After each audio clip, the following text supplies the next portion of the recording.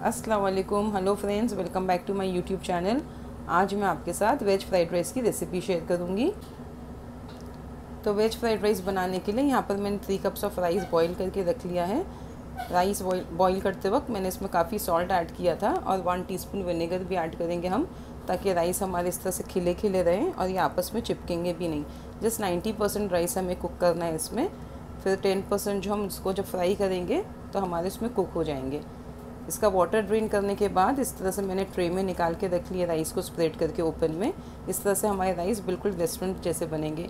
अगर आपके पास left over rice रखें तो आप उसके भी फ्राइड राइस बना सकते हैं, उसके फ्राइड राइस भी काफ़ी अच्छे बनते हैं। फिर यहाँ पर लेंगे हम one tablespoon of garlic chopped three four tablespoon of chopped ginger spring onion whites लेंगे हम वन टेबल स्पून यहाँ पे वन टीस्पून हम लेंगे black pepper powder one tablespoon of spring onion greens यहाँ पे हम वेजिटेबल्स में लेंगे। वन स्मॉल अनियन मैंने इसे क्यूब्स में काट लिए हैं। वन स्मॉल कैप्सिकम भी मैंने इस तरह से क्यूब्स में काट लिए हैं। और ये कैबेज है। ये भी मैंने इस तरह से मोटा मोटा इसको डाइस कर लिया है। वेजिटेबल्स आप अपने चॉइस के अकॉर्डिंग ले सकते हैं, कम या ज़्यादा। या और जो वेजिटेबल्स आप यूज़ करना चाहें, वैसे मैं प्रेफर करती हूँ इस तरह से वेजिटेबल्स कट करना, क्योंकि राइस हमारे फिर इससे अच्छे बनते हैं, ज़्यादा सॉगी नहीं होंगे इससे राइस अगर आप कैरेट ऐड करना चाहते हैं तो कैरेट भी इसमें ऐड कर सकते हैं।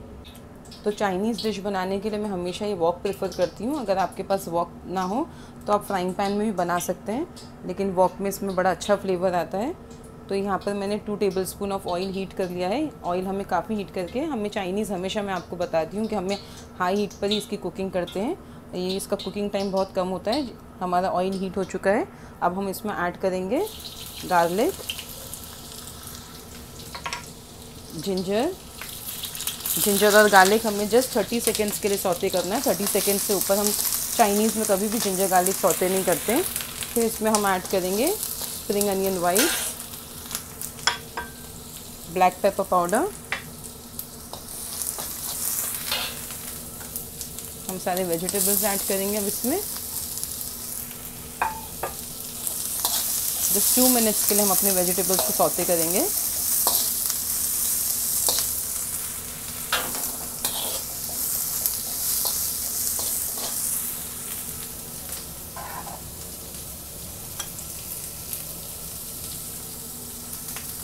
अब हम इसमें राइस ऐड करेंगे।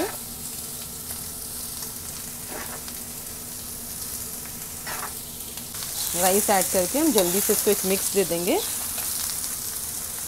हल्के हाथों से हमें मिक्स करना है।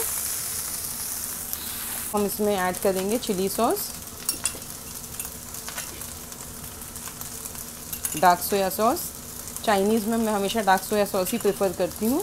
ये रेस्टोरेंट स्टाइल फ्लेवर इसमें आता है डार्क सोया सॉस से। वन टीस्पून हम वाइट विनेगर ऐड करेंगे।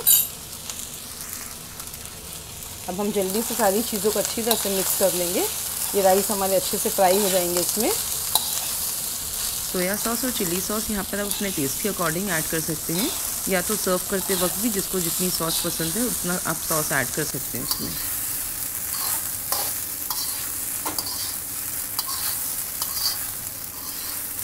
तो हमें बहुत जल्दी जल्दी इसको फ्राई करना होता है। Just two two three minutes के लिए हम इसे ऐसे चलाते हुए फ्राई करेंगे जल्दी जल्दी। तो देखिए, हमारा फ्राइड राइस रेडी है। अब हम यहाँ पर ऐड करेंगे स्प्रिंग अनियंस। और फिर हम सारी चीज़ें मिक्स करेंगे। अब हमारा वेज फ्राइड राइस रेडी है। तो आप इस तरीके से वेज फ्राइड राइस बनाकर ज़रूर ट्राई करें। मुझे यकीन है, इंशाल्लाह आपको मेरी रेसिपी ज़रूर पसंद आएगी। अगर आपको मेरी रेसिपी पसंद आई हो तो मेरी वीडियो को लाइक करें शेयर करें और मेरे चैनल को सब्सक्राइब ज़रूर करें। अल्लाह हाफिज़।